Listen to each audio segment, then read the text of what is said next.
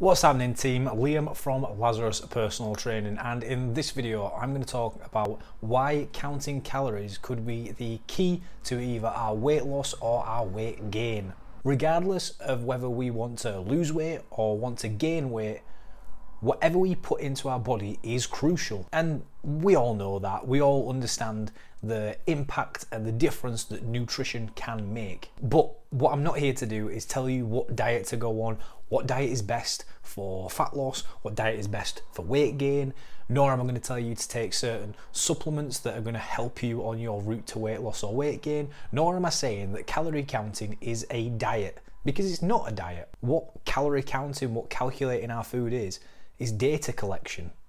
What we're doing is working out how much we are putting into our body on a daily basis. And the better data we have, the better understanding about what our results are. Can you lose weight without tracking? Well, absolutely, of course you can. Plenty of people have done it. If you go back in time, like people didn't have calorie counts of like how much a carrot was, but times have changed and we do have access to that and there is quantifiable scientific evidence that says counting calories and knowing where your calorie balance is helps us either lose or gain weight. So let's look at it from a wrestling point of view. We've had a match and we want to go back over it and and assess and get better from that match. Now we could do that from memory and that's absolutely fine. But we could watch the match back if it's taped, we can rewatch it, look at what we did, and observe it from an external point of view. Or to go into real life, if you've got a car, what's easier to do?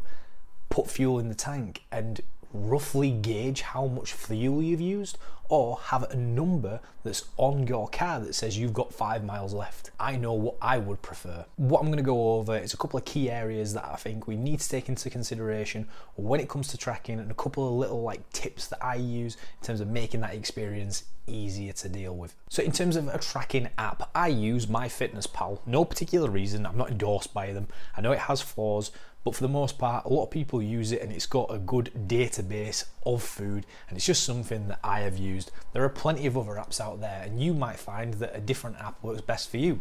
That's absolutely fine, but use an app and get comfortable with that app. I'm sure every app has its own benefit, but what I would say, especially for MyFitnessPal, which is what I'm going to use for this video, you don't need the premium version of it. The free one will do exactly what you need it to do.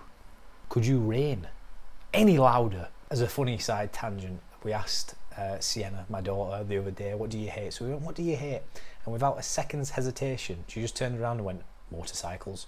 Now, I'm not saying that I have an impact in that sense. However, if you've watched my reactions to some of the noises that have happened outside, you can probably see why she doesn't like motorcycles. All right, so we've downloaded the app. What next? Well, we need to track our food, obviously. And we need to track everything that we eat. And this is where we can sort of go two ways with it. Now, let's say for lunch we're having a chicken sandwich we could go onto MyFitnessPal, search chicken sandwich, and I can pretty much guarantee there would be a result that says chicken sandwich with so many calories by it. Sick. But is that your chicken sandwich? Things that we need to take into consideration. Yes, there's a filling, but then there's a bread. Then if we use butter? Have we had a drink with the sandwich? Did we have a bit of extra on the side? And then we can go deeper into it. What sort of bread have you used? How much butter did you use? How much filling have you used? There's a load of questions that come around of it, and we can go as deep or as narrow as we want when it comes to tracking food. But remember, this is data collection. The better data that we have, the more accurate our findings will be. A bonus for MyFitnessPal is that you can scan food, and I'm pretty sure you would be able to do it on other apps as well. But it means that if something has a barcode on it, you can spin it over, scan it, and then it pops up on your MyFitnessPal. Saves a lot of time and typing stuff in. You can get a decent idea of what the calorie count is from that barcode, but take into consideration the serving sizes. What the serving size is recommended and what we might end up having could be two completely different things. But I know full well that it made the experience of MyFitnessPal a lot easier by having that barcode scanner in as opposed to when it didn't. Another thing that MyFitnessPal does is it sets up your um, your diary to have breakfast, lunch, and dinner. So they're three elements that it puts in there.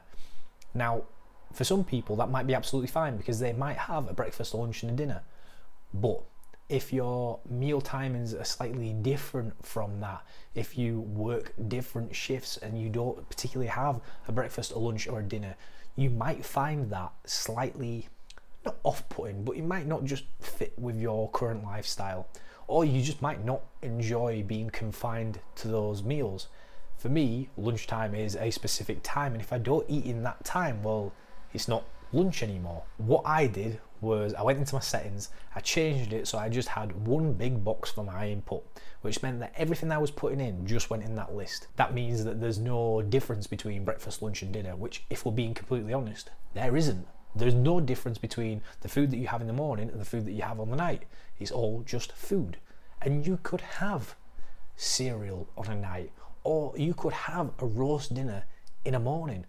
There's nothing to say that we need particular meal timings, especially not at this phase where we're just getting into tracking.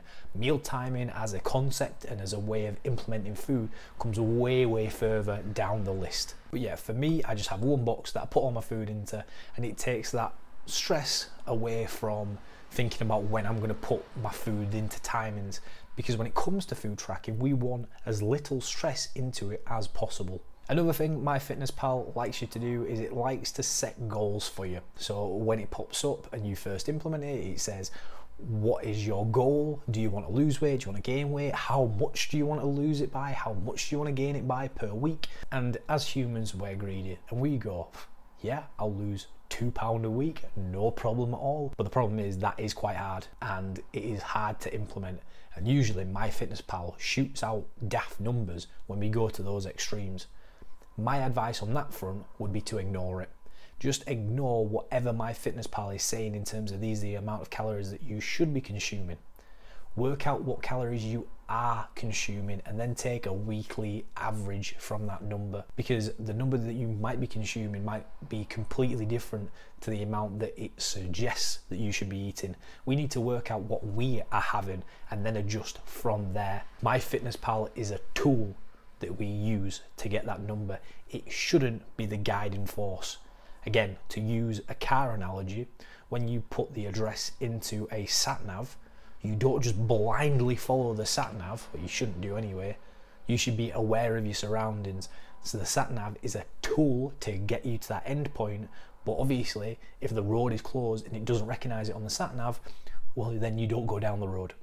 And on the note of calorie targets and the calorie amount that we should be having, unless you weigh everything, every single bit of food that you have, there is no way that you can accurately, to the calorie, know exactly how much food you are taking in. And even if you do weigh everything, what happens if you end up losing a bit? What happens if a piece of that broccoli, like, falls on the floor and you have to put it in the bin? Do you have to recalculate however much you've had? No. So don't worry too much if your calories are out by 10, 20 calories. Being realistic, they're probably out that much anyway. And the same comes to a calorie total. What I tend to advise and what I tend to go by is I'll round up to the nearest 100 or at least in that sort of range. Again, 10, 20, 30 calories in that sort of region we're probably going to fall into that anyway. If we think about our total calorie expenditure through the day, one day you might be up, active, moving around constantly, and the other day you just just might sit there. Those two days are completely different in terms of your calorie needs. So then, rather than recalculating that, I would use again a ballpark figure. Calorie counting is very much a guesstimate.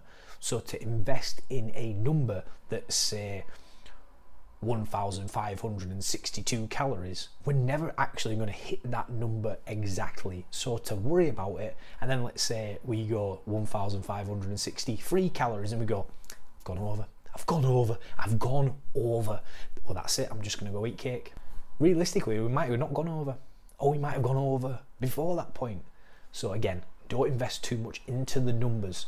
It's to give you an idea of the data that you're consuming. And then we need some comparative data. For the most part, I can pretty much guarantee nobody's tracking for the sake of tracking. It's not particularly a fun endeavour. We're usually tracking because we want to change our size, whether that be to gain weight or to lose weight. So we need another data point to compare the two to see if our calorie total is making a difference. So on that, it might be the scales, it might be circumference measurements, it might be progress photos that we're looking at, it might be how some clothes fit us, it might just be a general feeling that we have, but we need this comparative data point to see if our calorie total is making any sort of difference. Let's take it on a scale. So we stand on the scale and we are 90 kilo. We want to lose some weight. So we start tracking as calories and we work out that we are eating 3,000 calories a day. I am totally throwing these numbers out. Don't put any investment into the numbers, but think about what they mean. So we eat 3,000 calories a day. We then go back on the scale and that scale number hasn't changed. Okay, we know that that's our maintenance point. Now we end up eating 2,700 calories. We eat that for a week, we go back onto the scale, and we have lost some weight. We might now be at 89 kilograms. That means that the redu reduction in calories corresponds with the reduction in weight class. That means that we're moving in the right direction. We keep that up for a couple of weeks and it keeps coming down and down, down up until the point where we suddenly get to 86 kilograms. We've been eating at 2,700 calories and it stopped and it's plateaued for a week. Well, then we need to reduce those calories down again. So then we see the weight coming down and so on and so forth. But we need those comparison points to sit together. If we go on a different route and let's say we're looking at progress photos and that's going to be a longer term thing to follow. So we might be tracking our calories for a month, we take a photo and we go, actually, not really had that much change. Maybe I need to bring my calories up a little bit to gain a bit more mass and we take another photo and then we go actually yeah they do look different so the work that I've been putting in on my calories has corresponded to my progress photos there's a ton of different ways we can go about it and then to answer a question that I often get asked is how long do I need to track for well that's completely dependent on your needs and your wants and the amount of mental time that you can put into tracking you might find that tracking every single day helps you keep accountable, and actually is way beneficial. And you've just got into a pattern of tracking every day. Class. That is not me. For me, I will track for a couple of days, get a rough idea about the sort of food that I'm consuming, get a ballpark number, and then if I need to change it, I can either eat more or eat less, and I'll probably track that again to see if that's actually happening. And then I'll I won't track, but that's because I've had years of thinking about food and nutrition and exercise that I sort of have an idea about how much I'm consuming anyway. If this is new to you, then I'd suggest tracking for a longer time. When I start with people, I'll usually suggest track for a week, two weeks, and let's get a gauge on how much food you're consuming. Because for the most part, people don't know how much food they're consuming. Like if they've never tracked before, they might say like, "Oh, I don't eat that much," but actually they might eat quite a lot. Or they go, "Oh, I eat loads," and they don't eat enough. So again, if you're coming into this new, I would say track for a week, two weeks, make the change that you need to make, maybe then track for another two weeks and see if you're going in the right direction. You could then go, actually, I'm gonna have a bit of a rest now. And if you continue down that track, sick, that's fine. But if you find that you go back on yourself, I would suggest again, going back into tracking. You might find that you only need to track on a couple of days. Maybe the weekend is a problem point for you. So with that, maybe track Saturday and Sunday. Now, if we track Saturday and Sunday, well, yeah, it feels a little bit like work. But if that's our problem point, then we need to take that into consideration. Again, we are data collecting. To go, well, I know I overeat on a weekend, but I'm not going to track on the weekend because it's the weekend. There is your problem. So, with that, think about where you need to track. Do you need to do it every day? Do you need to do it on certain days? Do you need to do it for a long period of time, a short amount of time? but that is completely up to you. Again, I hope this video makes sense. I hope it highlights some areas that I think are important when it comes to tracking. And again, this isn't to say that counting calories is a diet. It isn't. It is a tool for collecting data.